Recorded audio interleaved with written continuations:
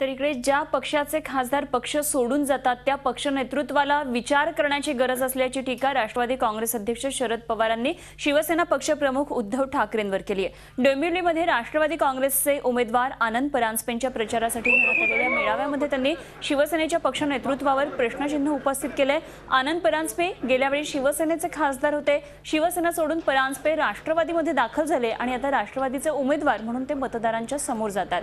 परांजपे यांची उमेदवारी काय कायम असली तरी यावेळी पक्ष मात्र त्यांनी बदललेला आहे.